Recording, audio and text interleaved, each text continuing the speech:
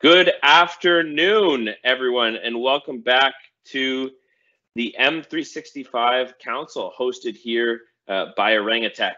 Welcome to our first council meeting of the new year. Uh, here on February 16th, we have some um, consultant subject subject matter experts joining us today. We'll be doing a, a nice little roundtable on issues and concerns with M365. Uh, coming up after that, our Q2 event will be May 25th. We will have a panel discussion. And our Q3 event, which I'm extremely excited for, um, will be September 28th. And our Q4 event, our final event of the year, will be December 7th. So, who is Orangutech? Why are we doing the council? Why are we putting this on?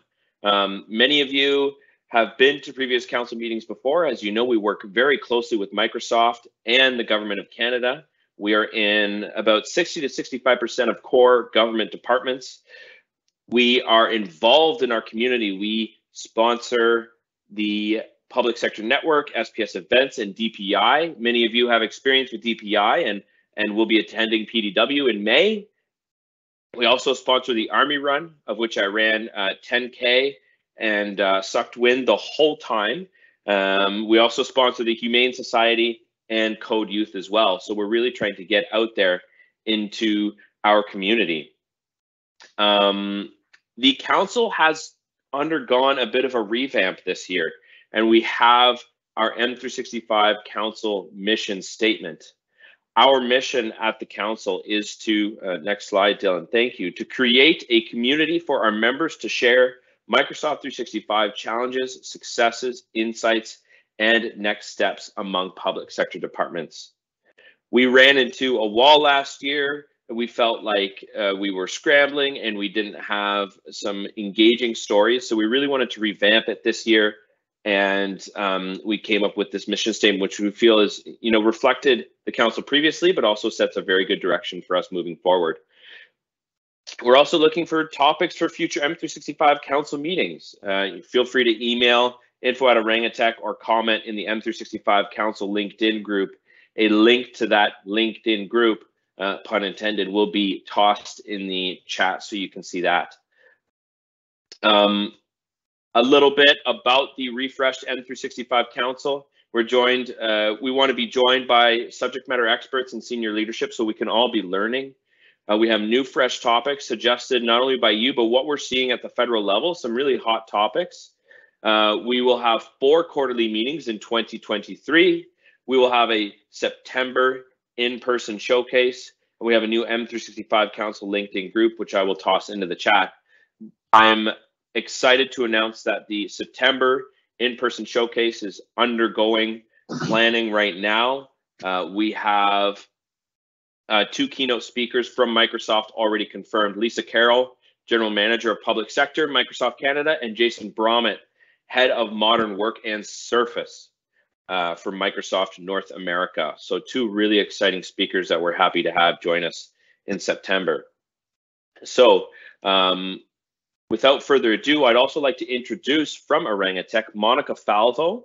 Monica is our uh, VP of Operations here at Orangutech, and she's going to introduce our subject matter experts for today. Uh, Monica is responsible for the entire um, consulting line here with Orangutech. She talks to uh, our consultants every day, and she's a great uh, she's a great uh, proponent for consulting at Orangutech. So, Monica.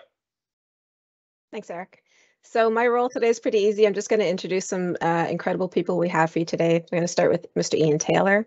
So Ian, some of the previous clients he's had within the government is AAFC, ESDC, CDIC, Nova Scotia Power, NRC, and LAC. So with over 20 years experience developing IT solutions, Mr. Taylor has a proven track record as an information management and Microsoft 365 architect, a SharePoint consultant, a business analyst, project manager, and team lead. For the past 11 years, Ian has been focused on SharePoint and M365 IM solutions, developing and delivering roadmaps and strategies, information and records management, enterprise intranet sites, and business automation solutions with a focus on change management and user adoption. Next, we have Mr. Andrew Proulx. a M365 Senior Change Manager. Some of his previous clients are OPC, CFIA, NRCan, AAFC, ESDC, and OSFI. Mr. Proulx is a Microsoft 365 Senior Change Manager with over 10 years of experience delivering M365 solutions, including SharePoint, CRM Dynamics, and the M365 suite.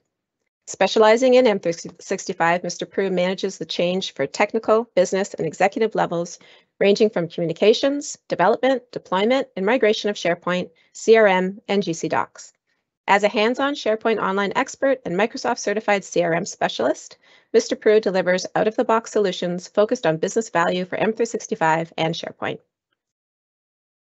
And next we have Mr. Tim Peterson, a business solutions consultant with experience at SSC, RCMP, ISC, Government of Saskatchewan. Mr. Peterson is a business solutions consultant with 30 years of experience working in a variety of information technology roles, including project management, business analysis, strategic planning, sales, infrastructure architecture, project management, software development, lifecycle management, and support. His project background spans over several industries and levels of government, leveraging both agile and waterfall delivery methods to deliver M365 solutions. And we also have Mr. Steve Goodyear, a business applications architect with TC, D&D, Fin, MDS Aero, PSPC, ESDC, and CDIC, to name a few. Mr. Goodyear is a multidimensional resource with over 19 years of experience in information technology and information management. He is able to take on any role from solution architect to business analyst to developer to project manager.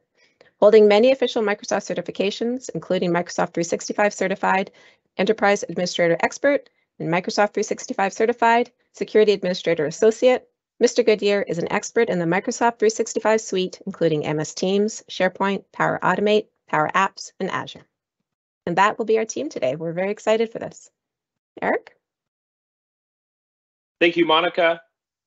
Much appreciated. Just some uh, tremendous experience and some excellent minds on the on the line with us today. Um, so I'm going to introduce um, our sort of first first question. Um, Ian is going to sort of set the stage uh, for us when it comes to migration.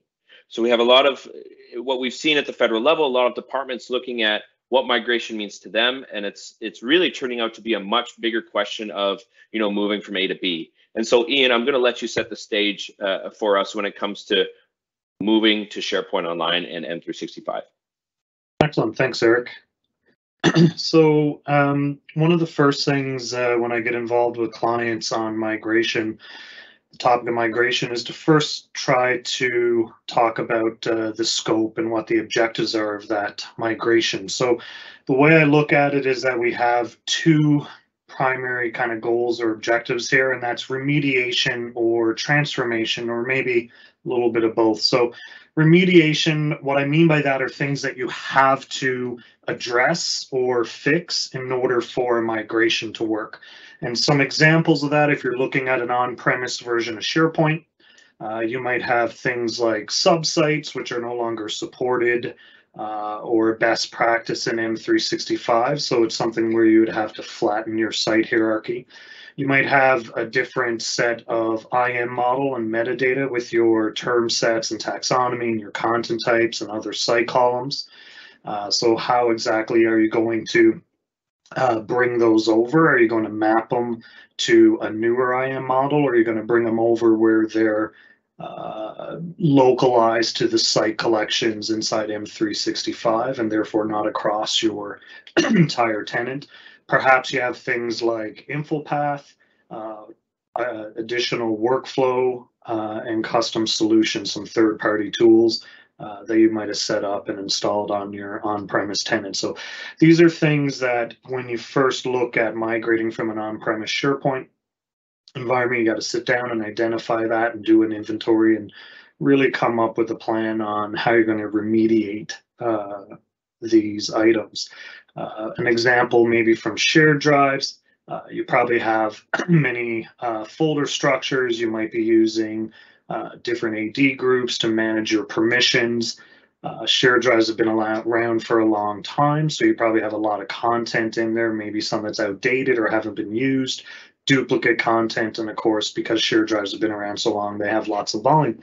So part of a remediation strategy for shared drives, you really need to think about, well, how are you going to map those same permission structures? Are you going to keep it or are you going to look at revamping a new permission uh, model in, in, in SPO?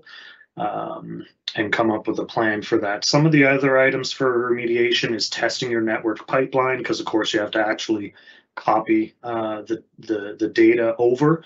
Uh, so where is the data residing? Uh, you're going to SPO, what migration tool you're using? Uh, doing some test migrations to really try to understand the duration and any network impacts um, and of course, your users might be trying to use the systems that uh, you're impacting at the same time. So remediation is often thought to be quicker. You know, uh, I would call it more of a, a, lift and shift. You can't do a pure lift and shift into SPO because there are, like I said, there's some things you must remediate, uh, but it is considered often uh, a quicker approach than looking at transformation. One thing I will note though is that organizations that I've done more of a lift and shift migration, they often have to come back after the fact. So uh, federal government is looking to use SPO uh, in in many departments as their corporate repository, uh, and really to use it for records management as well. And so, if you're looking at doing a lift and shift, um, it often you have no way to actually implement or apply your overall corporate repository and records management. So you end up kind of going back and transforming and cleaning up all that data that you migrated over in order to classify it and tag it and know what it is so that you can properly apply your uh, retention labels and records management to it. So over on the right here, we have transformation. So of course, that's the opposite of remediation. So you're going to take advantage of your migration project to not only just migrate the content over, but also fit it into your new model. So uh, if you are looking to set up SPO as your corporate repository with lifecycle management and records management, uh, you've probably been uh, working on a model when it comes to uh, your architecture your content types, your controlled vocabularies, your retention labels, things like that. And what you need to do is pick up the content from either your on-premise SharePoint or shared drives and actually map it uh, into that model. So uh, it does require business involvement in order to do that because the business understands their content better than you and you can have a newer model. Uh, but then if you're staring at uh, a bunch of documents, you need to know are these finance documents and HR documents and what actually needs to be migrated over. And then you have to map that to your uh, new information management model. So for transformation, this is obviously takes a lot longer. It's a slower kind of migration because you have to establish that model. You got to do your mapping. You got to go business line by business line and involve them. Uh, but the idea is that once you're done with that migration, your your your data is now in SPO and it's properly tagged and organized. You've thought through your permissions model, you've thought through your navigation and search and all that stuff. So you're kind of ready to go at that point. All right, did you next slide, please? Uh, so some of the things that I oh there we go. So some of the things that uh, I normally talk about with remediation planning, it always helps uh, if you can hire a vendor who has experience doing that or hire Microsoft. Um, I know that they have experience doing that as well. I actually um, have gone through one of those with Microsoft and they you know, start off with doing an inventory of your existing uh, on-premise SharePoint environment, identifying things like subsites and permissions and large lists and um, your model, and then they come up with what they call a remediation plan, where it highlights all the items that you do need to resolve or have an approach for before you migrate, and then uh, and then start test migration and going through it bit by bit. So um, the second part of this is you're going to need a migration tool. There's a few options out there, so you need to evaluate and purchase a migration tool that works for you, uh, for your goals. Um, you need to get an inventory of your current sites and the data and identify things like, you know, do you have InfoPath forms? Do you have third-party tools, workflows? large lists, what's the permission model. Uh, and so by doing that inventory, you kind of get an idea of uh, you can separate your inventory out into complexity. So your inventory can be split off into a small uh, or easy kind of migration, and maybe you decide to do those first because they're very quick and easy to just migrate straight into SPO. Uh, medium complexity and then complex items and identifying business contacts. So um, sometimes if you're looking at an on-premise environment, or other data sources that have been around for a long time, you might actually not know who the current business contacts are, uh, who own that information and can help you resolve items, uh, be change um, makers within your organization, help you resolve any issues that you're having with any of their data or content. Um, so that would be uh, one of your critical steps. The Next thing would be workshops to define your remediation approach. So after you have your inventory and you know who owns it, you're kind of getting together and looking at some of those uh, workflows and infopath forms and large lists and permissions and coming up with really a document, a remediation document, and saying, okay, well, in this scenario, when we come across this, this is how we're going to deal with it.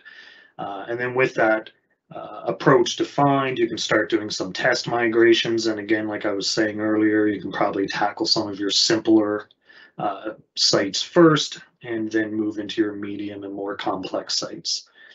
Um, part of remediation planning, of course, I was saying involving the business stakeholders. Uh, as you identify your different business owners, they kind of make up a community that you can reach out to and they can support you uh, as you're migrating their areas. And uh, I think I talked about this a little bit earlier. So testing for network impacts and expected duration. So that's part of that. Next slide, please, Dylan. All right, so last off, I'll just talk about a few foundational items in SPO. Um, some of the things that uh, you might want to do before you migrate is think through your navigation and search. So SPO has a few different concepts um, than an on-premise or obviously shared drives or other systems. Has a homepage, uh, an enterprise homepage. So if you just enter in your domain name, this is the site that your users will see.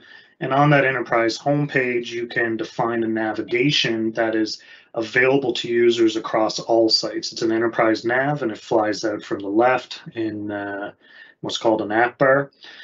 And so you have a limit of about 75 sites that you can put into this enterprise navigation. So how are you going to organize and what are those 75 links that you're going to leverage so that uh, when a user is on different sites within your SPO tenant, that they always have a way to navigate to the major buckets of information. So uh, kind of thinking through your homepage and your enterprise nav, uh, and then SPO has a concept of hub sites and sites. So I mentioned earlier that sub sites is not really a best practice in SPO anymore. Microsoft has flattened that structure. And the way that you logically group sites together now is a pointer to a hub site. Um, and so if you had 10, 15 sites, you can point it to a hub site. And what that gives you is you can define a hub navigation. Okay, so no matter which site you're on, uh, if it's connected to that hub, users are going to see a consistent top nav across all those sites. It also gives you search scope. Okay, and so if you're searching from your home page, you're searching all of SharePoint. If you're searching from a hub site, you're only searching the hub site and the sites that are connected to that hub site. If you're on a site and searching, you're only searching the content of that site. So really, when you're thinking about your information architecture in SPO, you want to kind of sit down and organize it so that it's intuitive and useful to your business users uh, before you think about starting to migrate and getting kind of that IA set up and agreed upon. Uh, some other items would be multi-language support. So how are you going to do it? So at federal government, I typically see either a PointFire or they're going to leverage out of box functionality. So most departments that I've worked with have actually moved towards an out of box functionality. Microsoft has launched some new updates in August of 2022 that allows you to have the same uh, English and French features on team sites uh, as you do on communication sites. And so um, when when you are setting up and migrating content, what features are you going to turn on? What regional settings are going to have? Are you going to create English first sites or French first sites? Uh, so kind of thinking through that approach. Accessibility is another one that you need to think through. Um, now, I think uh, there's a question later on about accessibility, so I'll get into more detail uh, on that. And then some thought into your information classification and metadata. So if you're migrating from an on-premise version of SharePoint, uh, it, most migration tools can bring over your metadata and your content types and your control vocabularies, but they're typically localized within that site collection. Uh, so I was talking about transform transformation earlier. Maybe from uh, it might be a best practice to set up your IM model uh, across your tenant first, right? And so you can define what HR documents look like, what finance documents, what executive briefing materials and things like that look like, and define the metadata that would help your business community uh, that you want to have. And so are you just going to lift and shift and pick up what you have and put it there? Or are you going to first set up your tenant to have some type of enterprise IAM model and then look to map those items into it? Uh, there's some out of box uh, functionality that most federal government departments want to set up fairly quickly, and a lot of these are included in your authority to operate anyway um, for up to Pro B. And that's things like sensitivity labels. So what I see is TBS's security classifications uh, being applied through uh, Purview sensitivity labels. So you would have your own classified protected A, protected B. Uh, think through a little bit about are you going to apply encryption to any of these labels? If you apply encryption, then guests or uh, people outside certain AD groups won't have access or be able to decrypt that information. So how are you going to roll out sensitivity labels across all of your sites and libraries and your user community prior to putting any information into your tenant? Uh, also around retention labels. So uh, most most organizations want to start doing some life cycle management in M365. So uh, you don't have to have that implemented before you migrate, but a little bit of thinking around, uh, you know, uh, how are you going to leverage retention labels? Are you going to use adaptive scopes? And, uh, you know, for that, you have to think about property bags for each of your sites and teams. So there's some things to think through there just to have an idea as to where you want to go for re records management and lifecycle management in M365. Setting up your data loss prevention rules.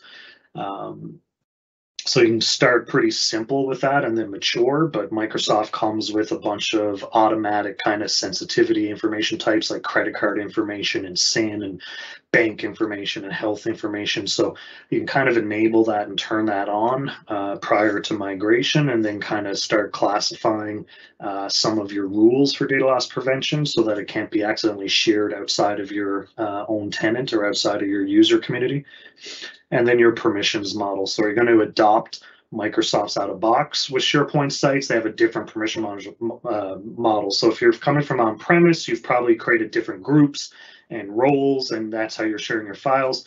Uh, Microsoft comes with three, or SharePoint Online comes with three default groups, so owner, member, visitor.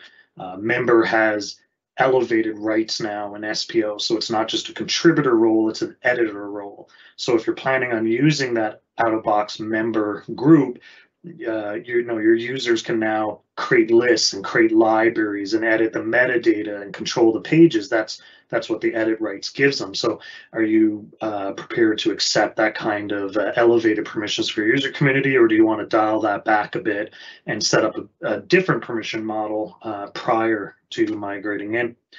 Um, and then a few of the other things are just around governance. Um, you know, thinking through your Power Platform governance. Once you migrate people over and they have their user accounts and they're using the system, uh, you'll have some eager beavers ready to hit the ground running, and they're going to click create Power Automate workflows, and they're going to create uh, let's create some Power Apps. And before you know it, a year later, you're staring at you know hundreds or thousands of these kind of one-off custom little solutions that you got to try to support. Uh, so you know, be a good idea to, to think through the governance and what you want to do with your Power Platform uh, and who who has access to it prior to uh, kind of giving the green lights and migrating and giving passing over the keys to your users. So I'm going to stop there. I could ramble on and talk about this stuff for a long time. So I'm going to stop there and move on to some of the other questions. I hope that helps set a foundation for people. Thanks very much, Ian. That was that was great.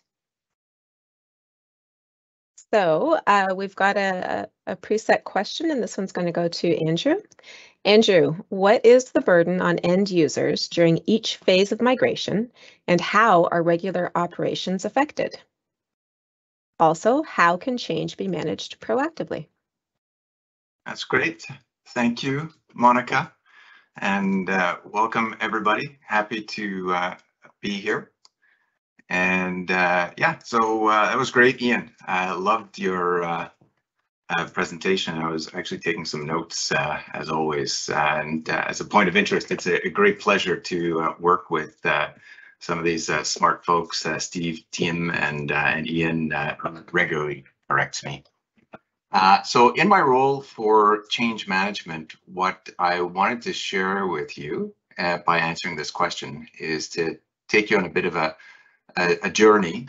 And uh, what I do is uh, I help um, transition transition that change from uh, technical uh, to business for the end users, for executives, mid managers, and so I'm going to touch on those as I answer this uh, this question, and uh, I'll try and respect what the topic is. So, the burden on end users and what uh, what I felt to answer that is that you know a lot of these things are the usual suspects of uh, you know helping end users to buy into the migration. So that's uh, really important. And I'm going to touch on that more on the uh, manage change proactively.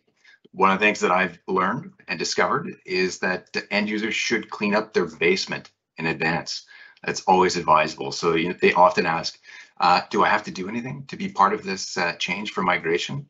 And uh, I always recommend, you know, you should clean up. This is an opportunity during migration to clean up your uh, your stuff, organize your content. There's no point, uh, you know, that uh, GIGO. there's no point in bringing in old documents or old content that aren't of value anymore. So get rid of them. Uh, you probably should be practicing good uh, information management, information record keeping uh, as you are working. so a lot of that stuff you should be getting rid of. You don't want to keep it. Um, you know, uh, need to embrace the change. So the burden on end users is that um, we want to uh, have end users obviously embrace the change and understand why in fact are we migrating is it just for fun no there's a, a business reason organizational benefits. And i'm going to talk about that that when we get to the uh, answering the question of how to manage that change proactively. Uh, regular employees or operations. How are regular operations affected? So I think what I wanted to treat it here is that uh, employees need to provide time uh, to affect that change. So the folks are going to have to, from their busy schedule, uh, you know, participate in that change, attend meetings, uh, you know, uh, understand why we're making the change, the organizational benefit, how it's going to help them, how that uh, we're and why we're making this change from, you know, if it's a, an old network uh, file share or a legacy content document management system, why are we making this change? What's the shift? How does it help them? uh, focus on those things to help the employees um, see themselves in that change and understand why that they're uh, uh, migrating and how it's going to benefit them uh, specifically. Uh, they need time to understand, uh, you know, um, where their content is moving from and to. So they've got to participate in meetings. they've got to participate in the old ETL, extract, transform, and load. they've they've got to know from the source, which sources, and and be part of that uh, uh, migration exercise. Transformation, undoubtedly, you're not just going to move it uh, uh, like to like. There's going to be some transformation exercise, whether it's you know, uh, using tools to migrate, uh, you know, from uh, a file share. And at that same point in time, you know, during that transformation and move uh, to get to load, there's uh, maybe you're going to apply um, metadata uh, to that content at that point in time. But employees need to be part of that, and that's part of how their regular operations are affected by participating and understanding the benefit and what we're trying to achieve. Uh, they'll need they'll need time to troubleshoot because even when you bring across uh, and you migrate your uh, legacy system into a, a, new environment, hopefully it's SharePoint, there uh, you know there's going to be things that come up. Uh, there's going to be surprises, gotchas. Uh, you know, there's a, a document that had a you know a particular character type. Well, maybe it wasn't brought over correctly, so we've got to be able to have time so that the employees can study the outcome of the load and make sure that what they expected, uh, you know, perhaps through some form of account that they, you know, there were 10,700 files in the uh, legacy environment and that I've got the same match. And if I don't have the same numbers, you know, in that checksum, I can then look at uh, uh, and identify where the discrepancy is and then discover uh, how that uh, I can uh, affect change so that it can bring it across. And then uh, this is that tag that I wrote from from Ian. Really important. Folks need to understand permissions and how that it's different. And while we're migrating into an M365 environment, products like uh, Delve uh, need to be understood. the permissions it, of course, we're all aware that it only surfaces uh, material and content for which you already have permission. Yet uh, the difference is that it just makes it a little bit more uh, aware. So whereas in the older environments, you didn't, you had to know physically where the material was. Delve is going to help you because it's trying to, and Ian uh, and Tim will tell you a lot better than I can uh, what Delve is doing in the form of artificial intelligence. But it's it's doing a good thing for you, but it also uh, you need to be aware of uh, what it's doing. And I know that at uh, TBS, one of the things that they're doing is uh, um, uh, they're encouraging folks to explore and have that premise of if you see something, say something. And um, so when that content gets migrated, if the permissions should have been changed or affected, you know, you got to tell us so that that it can be changed. And uh, I don't know, are we taking any questions, Monica, or should I keep going? We will uh, we'll hit questions at the end, uh, okay. Andrew. So again, thank you for that. I know uh, when I think change management, I know I take for granted all the time my familiarity with computers, right? Just how technologically competent I am with, you know, what drag and drop is and using computers. And it's just something that I know I take for granted all the time. Um, so thank you, uh, thank you so much, Andrew, for uh, your commentary there. We will get to questions at the end, and um, we do have questions filling up the chat here. So okay. Um, great, thank you, appreciate that. I've got, uh, I, I want to take a couple more minutes and uh, around to answer the question about managing change proactively. Yeah. And so uh, what what I would like to do is uh, to manage that change, and I'm I'm going to try and uh, uh, cut this uh, down a little bit just to uh, give some time for others and uh, to, for those questions. But how I would manage change proactively is, um, and, and, I think I'm not going to tell you anything that, that you don't already know, but it's around uh, focusing on the organization and the different layers in that organization, such as an employee. What does an employee need to know? Well, uh, they need to know about, um, you know, the, how that benefit or how that migration is going to affect them how that you know and share stories around that uh, it's going to reduce the the burden of uh, how they store files. You know, going to uh, SharePoint is going to make it easier to to share files with those with their colleagues. Share, uh, you know, uh, that it supports co-authoring, uh, where you know your current file shares doesn't happen. And these are things probably folks know, but we want to encourage that. we want to encourage that. Um, you know the employee understands that uh, their manager is going to support them through this process and that they're not going to be left alone. And uh, you know communications we're going to speak in uh, clear plain language and we're going to help outline the roles uh, for an employee uh, to uh, help them understand the migration what they need to know what they need to do to get ready to clean up in advance. And look for go-getters in uh, in those employees to spotlight them and and you know help them be leaders. We want to help mid managers. So it's the one thing that I've learned is that uh, that as as smart and clever as I think I am, uh, you know, employees, they don't want to hear from me. They want to hear from their manager and they want their manager to uh, uh, uh, uh share that change with them, uh, with their with their employees. They want their manager to be the one to help them to understand where they're going to get that knowledge, where they're going to get that training, how it's going to affect them. So we want to empower the manager to um, you know, know where they're going to get the uh, uh, uh, reports on uh, metadata, know uh, where they're going to share how that metadata is going to be uh, in the new environment, how it's going to be um, applied to content, and, and share that with their employees. And you know share with their employees how they're going to migrate uh, perhaps using tools uh, how they're going to you know uh, spend less time uh, uh, filing. Share that with their employees. But the idea is that we want to support the manager and, and provide them with the tools that they need to uh, support the employees for which the employees are looking to them and the same thing comes with the executives you know they're looking at bringing that change from the organizational perspective so we need to boil messages for the executive they don't have you know, hours and hours of time. So we've got to be able to boil those messages around the uh, migration for them. And then uh, outline the supports that we're going to give to uh, the mid-level managers that they're expecting uh, us to uh, to give. And I've got a lot more on this, but uh, I think I'll pass the floor back to you. And you know, I'll look to questions. Thank you, Andrew. Appreciate it. Again, I you know, you mentioned that there's a lot more to this. Um, you know, change management is not a it's a pretty in-depth solution and you know feel free to reach out to Orangutech after happy to connect you uh, you know if you uh, if you have any more questions or would like to uh, talk to Andrew more about um, you know some change management. We'll be happy to do some connections afterwards. Um, uh, moving to um, Tim Peterson. Um, Tim is a uh, business solutions consultant uh, worked with has worked with Orangutech for quite some time.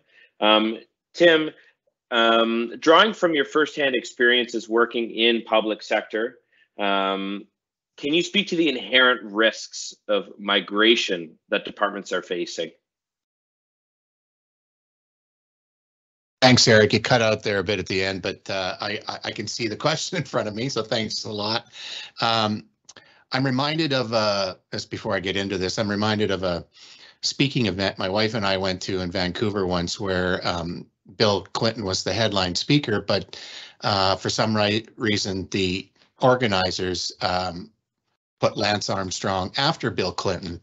And if you've ever watched him speak in person, he's a he's a pretty charismatic speaker and and so he he gave a great talk and then Lance Armstrong came on the phone and uh, or on, uh, on the stage and he says uh, thanks a lot to the organizers that put me after Bill Clinton to speak about whatever I'm going to speak about. And that's kind of how I feel right now. Like Ian, uh, Andrew, you've you've laid out a lot of good stuff here, and I would uh, advise people to go back and watch this again. Um, I'll uh, and, and the only saving grace I have is Steve is after me. So if if Steve went before me, I had nothing to talk about.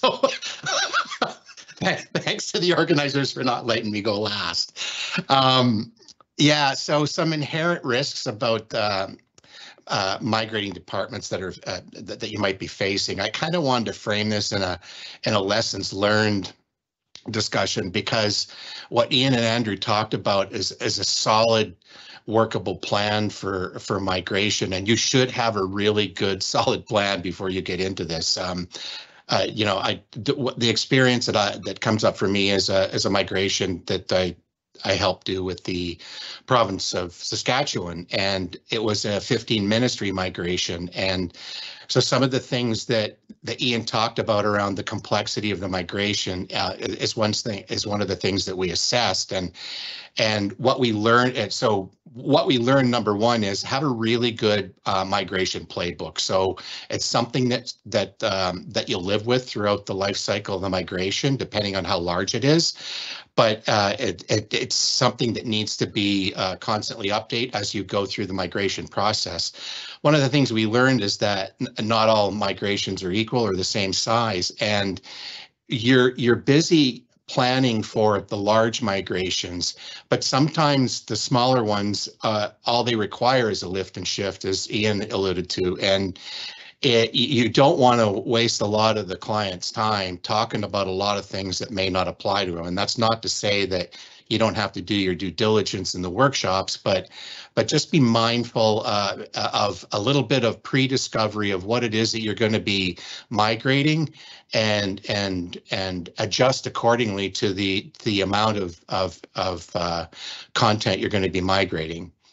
Um, the other thing uh, I'd, I'd mention is just in content itself. Remember that it's not just content that you're migrating, it's content in context of business solutions that people are using on a daily basis that if you think of it as content only, you might miss certain things. Um, one of the things that we came across during the migration process was in assessing, you know, the content and the applications and what workflows might be in play and, and looking at all the metadata and all the rest of the things that Ian mentioned, um, you know, some of the content was a part of a workflow where the the source system was uh, logging transactions within that system that were keeping audit files on on content where people made changes to things.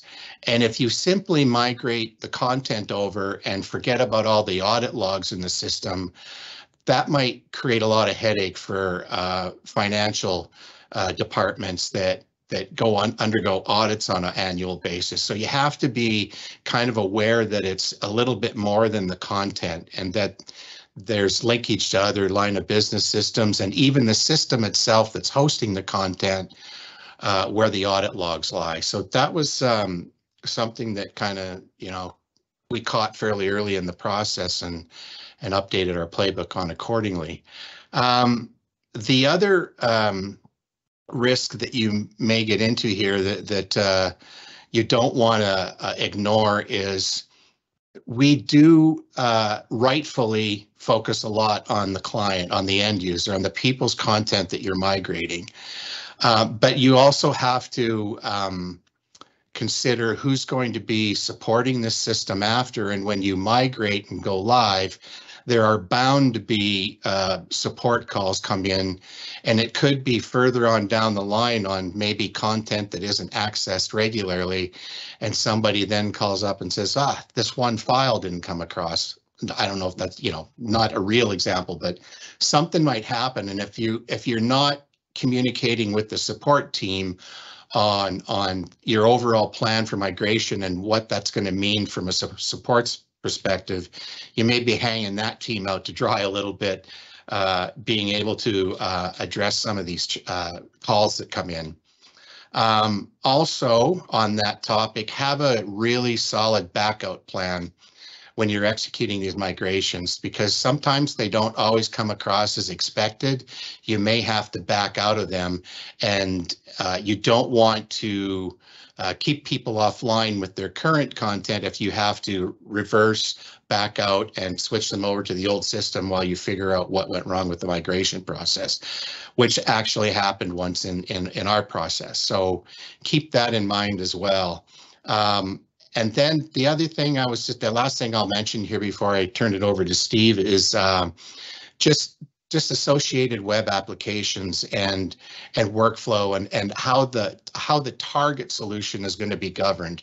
So some of the decisions that were were made for government of Saskatchewan were around uh, are we going to support migrating old SharePoint workflows? And the answer was no. They were they they they had um, you know, a mix of using the out-of-box SharePoint flows for basic approval stuff, and then for more advanced workflows uh, uh, with integration to other systems, they chose Nintex. Um, that has to be considered uh, when you're talking to the clients because if they do have something won't be supported in the target system, then you have to talk about what it's going to take to um, recreate that solution in the target environment. So just think about the, the solutions that wrap around some of the content you're migrating as well. Uh, and with that, and it, it, like everybody else, I could go on forever, but I know Steve has to talk here too, so I'll turn it over to, to back to you, uh, Eric and Monica. Thank you, Tim. You sell yourself short. That was excellent. Very informative. Thank you. So we will do uh, the last question we have for, for Steve, which is, what are the key, this is a bit of a, a, double question, but what are the key benefits of migrating from legacy systems to the cloud and M365? And then what are some of the alternatives to applications that don't migrate? Thanks, Monica. And uh, thanks, Tim. You put the pressure on there. That's uh, that's good. uh, great discussion today on migration. Um, do you want to flip to my first slide there? I've created a couple slides in here. So thinking through really the benefits and, and some of these link back to Ian's original discussion uh, actually talks about everybody's discussion. But the first one, I'll start down on that bottom left. You know, you're really adopting that that platform. So if you think of everything Microsoft's made available, um, it's it's a move to that. So Microsoft now is managing the platform for you rather than you having to patch it and, and do updates. So um, you can focus. I, I, like to think of it as you can focus on managing the application. In this case, SharePoint or or related applications like uh, like my colleagues have pointed out with with uh, Power Platform or Teams and things like that, uh, rather than the platform. Microsoft's going to look after that for you. It also gives you the latest and greatest. So again, you don't have to patch it and update it. So you always have the latest. I saw there's a question in uh, in the Q and A about this. So this this might not always be a benefit. It is changing. A lot's coming out quite frequently, uh, and we need a bit of a plan for that. But it always it, it, gone. Then are the days of having to upgrade every few years, right? Going from like a SharePoint 2007 to 2013 to 2016 to 2019 to subscriber edition now. Um, you don't have those those biannual or every three years having to go through that process. It's just kind of always being released. So that could cause there's some planning we got to do for that. Uh, like the question uh, implies, and I think Ian has has already typed a lot a good response to that uh, or started to. Um, but but the benefit of that is we don't have to go through those big exercises of upgrading the platform. It's, it's always kind of kept current along with that platform, you know, you get you get really good integration to these other applications. So if you think of um, on premises, we would have deployed like an Exchange server, um, what we used to call Office Communicator server, uh, which is now the Teams. Um, but now you get sort of Teams together. Exchange is really integrated in your Outlook. Uh, you get new applications like Planner, uh, and they all build um, around the same Microsoft 365 group that's connected to these and, and can build out. So I think of it as kind of when being asked the question, I thought of it as, you know, there's some benefits in the platform itself. And then the next couple of bullets really thinking about the content management tools. Ian talked about those a little bit. I'm thinking like the retention labels uh, that can manage the content. There's also things like e-discovery um, within SharePoint, but it searches across Microsoft 365. So migrating up, you get to take advantage of those. And then security tools, again, Ian mentioned some of those, the data loss prevention, DLP, sensitivity labels on how we can protect things and, and secure it. Um, so we get those, but uh, I skipped over it a bit, that cleanup content down on that uh, left as well. It is kind of a benefit. Now, Andrew, Andrew talked about this a bit, you know, we need some awareness and we need some planning. Uh, Ian really referred to that as transformation rather than just lift and shift, he said um, this is where we get it, it is an opportunity. And the upgrades you know even though they were a lot of work every three or four years they were always a good opportunity again to clean up. But this one where we're actually migrated to a whole new environment it's a chance to kind of um, reorganize things with how people want to organize it or apply metadata and move away from things like like uh, folder names or naming conventions on files. We could start having metadata and plan it out um, so, so there's kind of the benefits in the process and adopting the new tools. And then over on the right, um, similar, you know, you improve remote access. Um, while Ian was talking, I, I, was thinking about my slide and um, when COVID first happened, I was actually on a project with Ian and we were planning to deploy it to, there was a Crown Corporation we are working for. And our whole project plan was in person and we are going to roll out everything and have a lot of engagement. And COVID happened and everything locked down.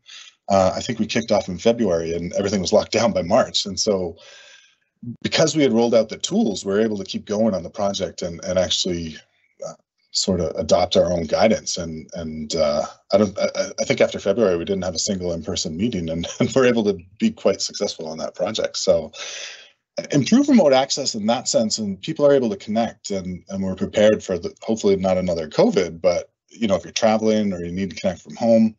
Um, but also in there, I think of the mobile phones, and this gets back to the platform. Uh, all the apps now are connected and integrated. So if I open up a Word document in Word on my phone, it's edited in, in real time on uh, on SharePoint.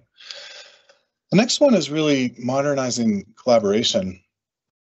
This links a lot to what Andrew was talking about. You know, there's there's a lot of change happening here.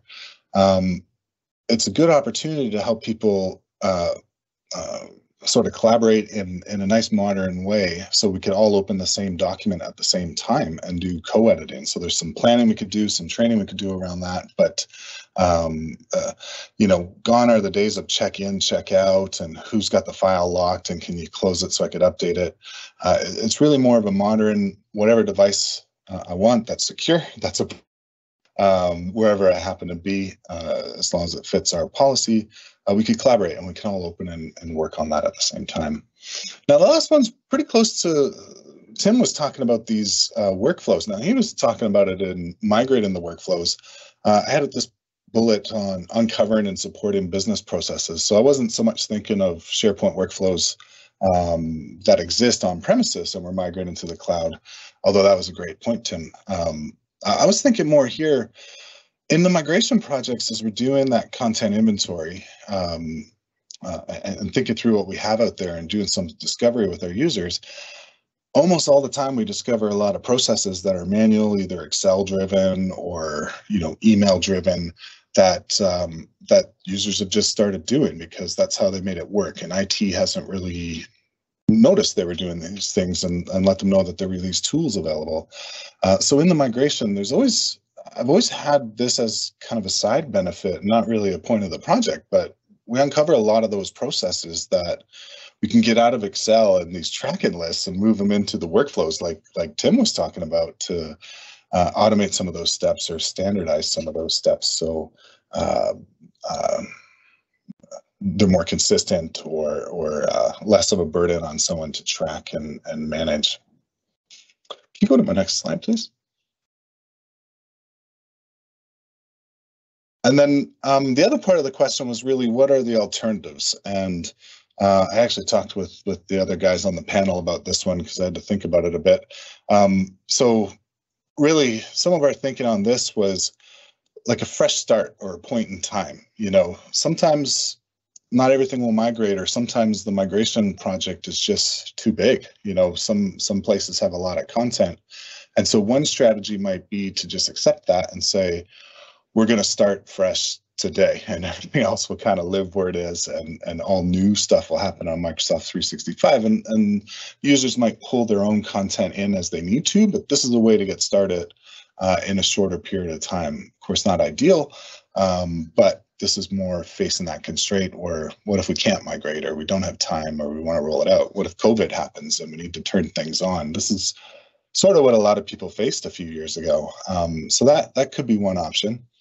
Another is, um, you know, maybe we don't go through all that process to figure out everything we have and make sure that content we move over is pristine and we've tagged it all all new content will be that way, but maybe we just have an archive in SharePoint. We designate a library uh, and move everything into there and uh, apply the retention schedule. Eventually, it'll cycle through and years from now that'll that'll be resolved or users will go and find stuff they need because the search is, is still quite good and can find it and they can move it into uh, whatever their active collaboration area is. Um, so that could be an alternative.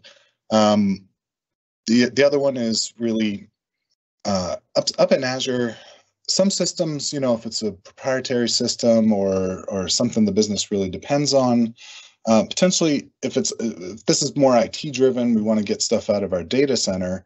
Um, we might just leave it as it is and do that lift and shift to use uh, to use Ian's Ian's. Um, uh, he mentioned he kind of hinted at this earlier. This is where we just take the server make it a virtual server or take the file share that we have uh, internally and, and move it and make it more an Azure file and use Azure file storage.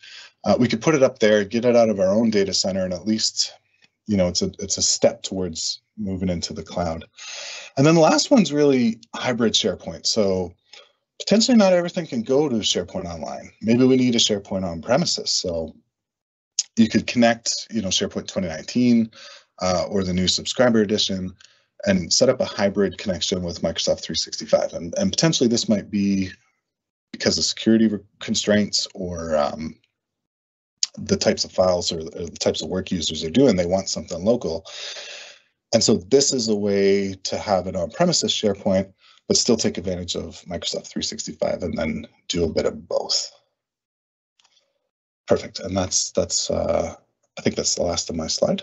Um, I'll turn it back to you. Great. Thanks, Steve. Appreciate it. Um, I'm going to get uh, quickly to the LinkedIn question. We had some engagement online. Again, join our LinkedIn group. I posted in the chat.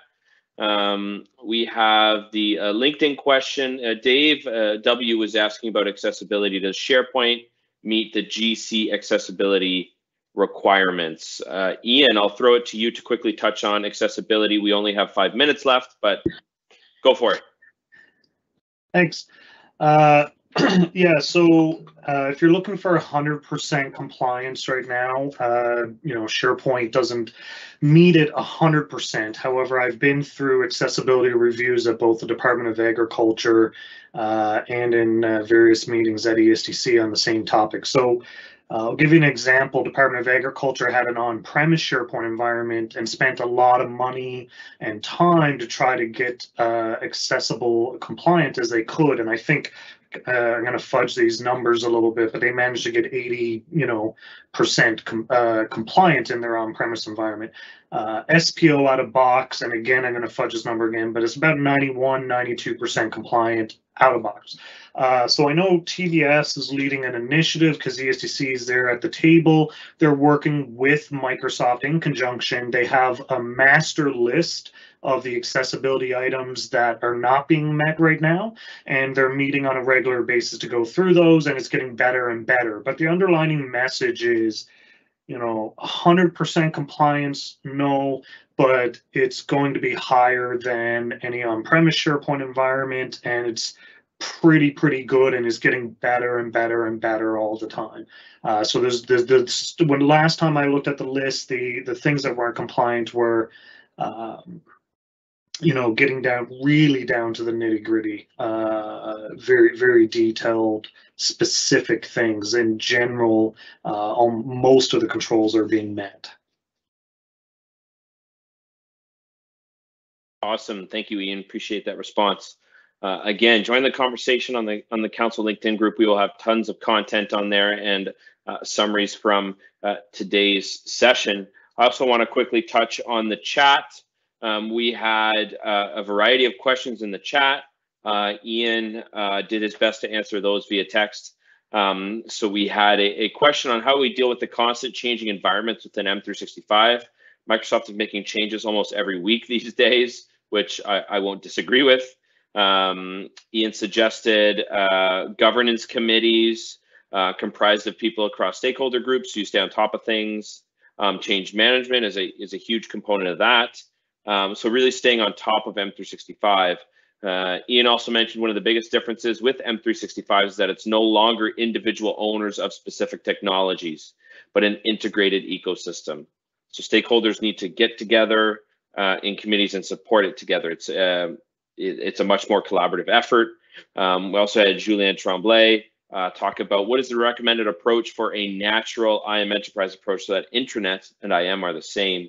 Uh, Ian touched on that a little bit as well um, uh, in the chat. And also David G um, sort of added to the conversation. And thank you, David, for, for joining our conversation. Um, not a question, but more of a statement. Change management is key to success. Yes, we all agree. Uh, everyone at this table agrees with that for sure. Um, and then training, training, training. Uh, the first item of business for myself was to make sure that the user community knew what the difference between OneDrive, Teams, SharePoint, and exactly what each component is used for. Um, I've Ian has had a we've had a previous uh, presentation with Ian uh, where he broke down the differences between each application and what you use each application for. They have different purposes across M365. So again, David, thank you for joining our conversation. Um, and that about wraps up today's session. Uh, Tim, Steve, Andrew, Ian, thank you for joining us. Uh, Monica, thank you for letting me tell you that you're going to host with me. Um, and Dylan, who's also on the line, thanks for putting these uh, awesome slides together. Uh, our Q2 M365 Council meeting, our next one will be May 25th. We will be hearing from senior leadership. Um, we'll have more of a strategic senior uh, session for May 25th. So looking forward to uh, seeing you all there. Again, um, don't hesitate to join the conversation at our council LinkedIn group and please email info at Orangutech if you have any questions. Uh, Monica, do you have anything else you'd like to add before we sign off? No, just a big thank you to everyone, all participants and our, our table. Uh, thank you for your time. It's much appreciated. Thank you, everyone. Have a great rest of your Thursday. And uh, the weekend is incoming and family day is right around the corner. Thank you all. Bye.